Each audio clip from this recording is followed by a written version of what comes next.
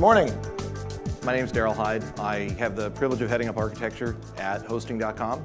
Um, been with the organization for quite a number of years and been very excited about uh, a product that we recently built on top of the VGW platform called Cloud Firewall. Uh, it's done a lot for our customers and, and almost equally importantly, it's done a tremendous amount to simplify our own architecture and to simplify the way that we deliver services to our customers. So let me tell you just a little bit about us. Um, we concentrate on cloud hosting and application uh, hosting services for mission critical applications. So that's your bet the business application. I think the, th- you know, the, the line is the, the application that either keeps you out of, keeps you out of jail um, or you know, keeps make sure you get paid. And that's really where we focus uh, a, a, lot of our, our, our core architecture. Um, we're distributed across the, across the US in, uh, in six different markets. Um, we have been growing uh, at, at, a pretty rapid pace, and we actually offer our cloud services in five of these sites and intend to have our cloud services offered at all six of them uh, in the fairly near future. Tell you a little bit about um, our public cloud platform, and the reason I want to talk about that is that's the platform that we're actually delivering the service to today. Um, it was launched in 2009. Uh, it was built on VMware vSphere 5. Um, it's powered by Juniper, EMC, and Dell presently and uh, it supports over 2,600 VMs across 180 physical servers and distributed, distributed across five different locations.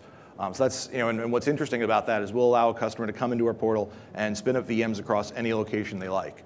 Um, so you've got an easy way to build a really geographically disparate, um, um geographically distributed application. Um, the concept I'd really like to talk to you about though today is, is kind of the philosophy around the way that we deliver services. And I want to kind of have more of a I, I, guess I would say more of a fundamental conversation about service delivery and kind of the in, in kind of the new model of computing that we're all here kind of talking about this week. Um, and, and I call that transition of thought um, kind of virtual mentality. It's, it's the way we used to think about service delivery and the way we should be thinking about service delivery now.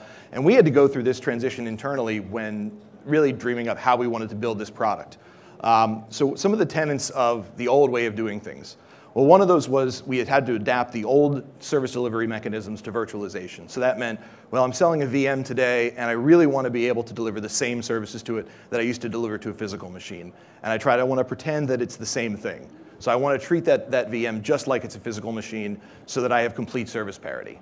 And that, that worked well in the beginning, uh, and, and, but the problem is that, that we've, we've built this whole layer of abstraction with virtualization, but we're still, when we're doing things that way, we're forcing customers to understand network topology. And when they build a V, when, when a customer buys a VM, they don't want to have to worry about what zone it's going to go in, what VLAN, what network. They just know they want to spin up workload and they want it to function. They know that they want to secure it, but they don't want to have to think about, well, what network does it have to go into? What's the prefix it's going to go into? Is that address in use? They don't want to have to think about these things as they're spinning up and spinning up and down workload because it's just inefficient. Um, and this was really actually kind of reflected in, in some of the original goals that we had when we built our public cloud platform.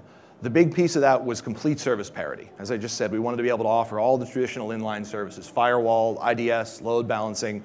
Um, and on top of that, we wanted to be hybrid from the start. And so that means customers who were already using physical servers from us, we wanted them to be able to spin up VMs in their existing VLANs within the public cloud.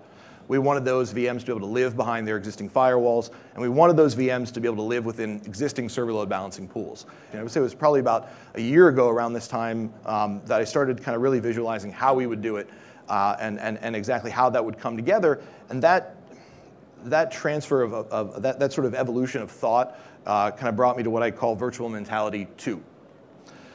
And the first one is to leverage the hypervisor to offload services we can, we can drop uh, a, a software-based firewalling onto, onto all of our operating systems using IP tables and PF and Windows Firewall, but you've got five different ways to do it. They impact performance of the host in varying ways. They're somewhat unpredictable, um, and, and they're just not consistent, and, and they're not really the thing that, that, that, that your security team is, is used to working with. Generally speaking, you've got some bifurcation there between you know, kind of your security operations group uh, and, and, and folks that are maintaining servers and they're not necess- they don't necessarily want to be uh, kind of in each other's way. So what we want to do is find a way to, to, to move the firewalling services and move security policy enforcement you know, uh, out from in front of the host on a physical firewall, but not put it onto the host in a way that it causes, uh, uh, that'll consume more resources. Um, so we want also less dependency on network topology. This is really important because people want to be able to spin up and down workload fairly easily. They want to even be able to automate those changes, and the more factors that we force them to take into consideration to automate changes, the more difficult it is for them to do it. And frankly, the more difficult it is for us to build APIs and build automation infrastructure for them to do it. So really everybody wins there. And the other thing is a simpler provisioning experience. Again, customers want to be able to spin up and down workload on demand very, very easily. They don't want to have to think about, you know, again, what network is going to, is this VM going to go into? Is this IP address already in use? They, these, these changes should be abstracted from them. We should be providing them a services abstraction layer that, that prevents that from them ever having to make that decision. Um, and this is really the vision for Cloud Firewall, which is the product that we recently built on top of the, uh, the VGW platform. So the big piece here, again, security policy completely decoupled from network topology. This is really important because customers don't think of security in terms of, of, of, networks and zones and VLANs. Generally speaking, they think of it in terms of applications. We want to be able to, do, to group completely arbitrary uh, uh, assets into logical groups and the right policy for them without having to know what network they're going to go into and what their default route is and what this static route is and this guy's running BGP, so his route's going to be over here. They don't have to think about that. So realistically, the other thing we wanted was customers to be able to manage and, and provision the product completely independent of that. And then kind of the last tenant there uh, uh, was zero impact install. We want a customer to have, be able to, to, to purchase a service at time of, of, of, installation for us, but at the same time, we also want them to be able to opt into it later. And we want that to be a, a zero impact experience. That's really, really important. Again, we just talked about what would happen when uh, an existing customer uh, uh, spins up a, a physical firewall well, we can make that a, a much smoother experience. And kind of the last piece of that is a self-service user interface. You should leverage SDKs and APIs to expose these things to your customers so that they can, if they want to make their own security policy changes or just view changes that are made, they have, they have you know, a, a, a, services layer for doing that, as opposed to having to constantly reach into your operational teams and ask them to, oh, could you make this change? Could you make that change? Uh, again, we're trying to take, uh, we're trying to take overhead off of our operations team so they can take care of customers. So when we started thinking about this, we, we started thinking about what is the technology we want to use. And we looked at a lot of the, there was, there was a number of, uh, of, of players in that space that were doing sort of the hypervisor layer firewalling. Uh, and, and, and ultimately we arrived at, at, at the, the, the VM-safe API model as being the, the most efficient. Uh, we did a lot of stress testing. We did um, you know, a, a, lot of kind of multi-tenant safe testing. You know, the biggest, uh, uh, I, I've, I've railed against shared firewall technologies for, for years, and that was because ultimately at some point you know, my, my, CPU's ability to create new sessions, to ramp up new sessions, at some point that, that, that peaks out. There's only so many new sessions per second I can create, and once I've exhausted that for customer A, I can't do it for customer B. Um, and so realistically speaking, this became the best way to go. Now, we started looking at the shared customer pod again.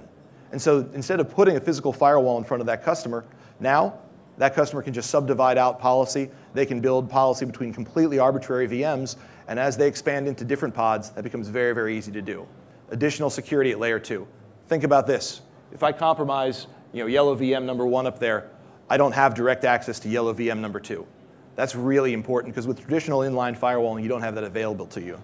So what's the user experience like? Well, the first piece is very, very simple. We want to allow a simple ordering process. You've got less than 15 clicks through our portal from the time when you order the service to when it's online. Uh, we're ready to manage in less than 10 minutes. Uh, we want to be, allow you to group VMs based on the, the application, not based on a, a network or a zone, and then create policy. It's that simple. Now, something you'll notice about these screenshots, uh, right up at the top there, that's my username in our portal. This, I pulled these screenshots live out of our portal on the plane. So this is, this is functionality that exists today that customers can use. This is how I order the service. This is how I add a, add a VM to a group. This is how I create policies. Just like that. I build policies. It's very, very, very simple.